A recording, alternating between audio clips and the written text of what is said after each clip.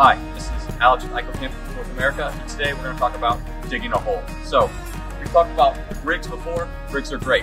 You want to get in, you want to dig a deep hole. Uh, I strongly recommend using a rig when you can. Sometimes, uh, either we don't have accessibility, we don't have the budget, or we're in a place where that groundwater table just isn't very deep.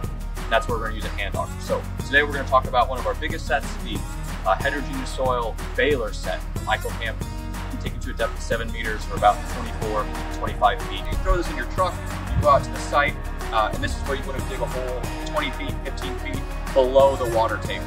Uh, when we're looking at below the water table, that's where these augers don't work great. That's you're going to have your hole collapsing. That's where these well casings actually come into play. So it comes with seven, uh, yeah, seven of these bad boys that'll each advance about a meter at a time, where it will allow you to capture that that soil sample as your hole is collapsing.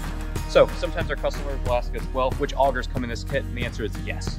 Basically every auger that we make will come in this set ranging from, uh, we have combination style auger, we have sand augers, uh, we have stony soil, the riverside, also called the bucket auger.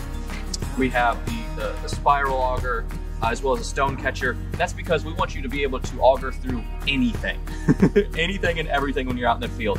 We have uh, both 7 centimeter and 10 centimeter. The 7 centimeter is for augering inside of your casing.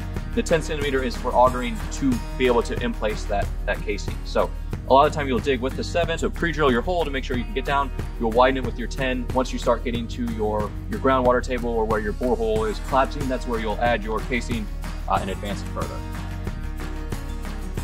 So the, the the name of the kit is the Bailer kit, right? It's a, it's a, key part. But then what helps advance it once you get into your unconsolidated or your, your, your you know, your nearly fluidized geology, it's the Bailer set here. So we have a 75 centimeter length, another 75, another 75, and this one has a diameter of 63 millimeters, and this one 50.